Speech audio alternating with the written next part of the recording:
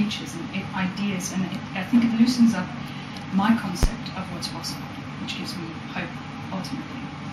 But which leads me to the next question about the, the collective consciousness and our involvement. If we can imagine somebody's having an adverse time, and if we look around at people just experiencing life at the moment, things anyone who's conscious at the moment of what's going on, everyone's feeling this, this pressure we feel this some pressure deep down inside us, time speeding up, we feel some kind of pressure, financial, emotional, political, however it may show itself. And this concept of survival versus creation, which I've heard you speak about before, and when we can choose either survival or creation, are we then affecting the superhuman for other people to then pick up on and therefore be affected by? Well, first of all, we're always affecting the Okay, field. Yeah. We're always sending a signal. Our thoughts are the electrical charge we send out in the field. Our emotions and feelings are the magnetic charge we send out in the field. And our thinking and feeling creates an electromagnetic field that affects every single atom in our life. Mm. Now, we know from research in the United States that if you take a group of people and you have them move into an elevated mood and focus on peace and meditate in a certain city, Mm. the crime the crime rate in that city drops. Mm, That's that's a, a natural phenomenon as that that people have noticed uh, through their experimentation. The problem is that when they stop their meditation, the crime rate returns back to the ceiling value. Yeah. So we have three brains in place that allow us to go from thinking to doing to being. We can have an intention and, and set our mind to um, uh, uh, to a specific goal or a specific outcome. When we do that, we use the thinking brain. When we learn new information, we embrace novel concepts, it's all wired in the thinking brain. So we could focus on peace and we could focus on calm and we could focus on creating different results.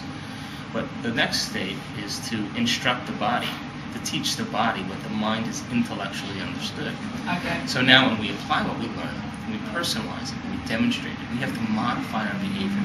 We have to change something about ourselves to demonstrate peace or compassion. Yeah. Yeah. Now when we actually do that, we change something about ourselves. We have a new experience. We say, hey, I didn't knee-jerk react in that Mhm. situation.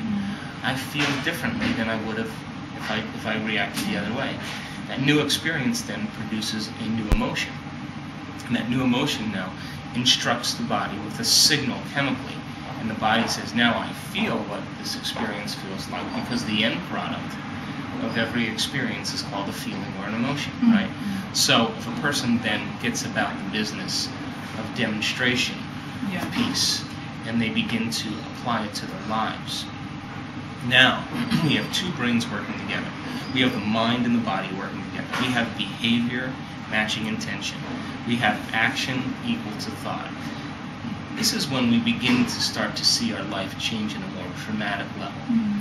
But it's not enough to do it once. Mm. You have to be able to repeat the experience independent of the external world. And when we're able to memorize a neurochemical state of mind and body and repeat it enough times, we move into that state of being and we activate that third brain. Now, when we're in a state of being and we're being it, Mm. there is no thinking.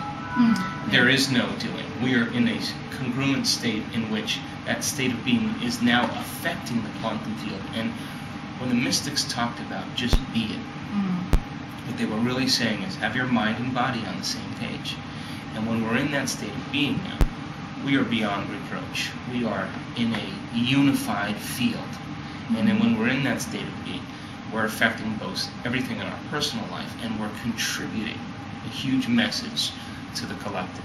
Think about people in history that were able to do that. William Mm. Wallace or Mahatma Gandhi, any of the greats they said, listen, I have an idea and I'm going to begin to act as if this idea is happening right now. I know anybody else can't experience it with their senses yet, but to me, it's real and I can't compromise. Mind and body working together. Be the change you wish to see in the world. And when you're in a state of being, that's called leadership. Leadership is when mind and body are working together. Mm. Politics is when your mind is saying one thing and your body's doing something else. Right? Yeah. Yeah. So, so uh, in that state of being, then the field responds to our being. Person then can say, I want to be happy. Mm. They're thinking intentionally they want to be happy, but they're being, you know, in a state of suffering because they've memorized that emotional state. Mind and body are working in opposition if they're being in a state of suffering.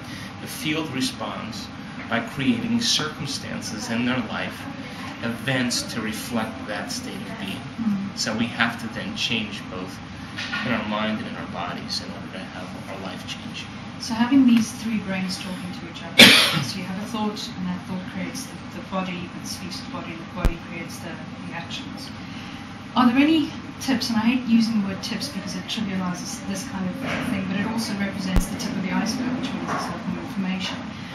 What kind of things could you, what kind of tips could you give us? Like, because it feels like it's it's great to be able to look at it and then you think, okay, but I really need to now start to implement it, even if it is on a minuscule level, and therefore practice and therefore get better Sure, at it, and then sure.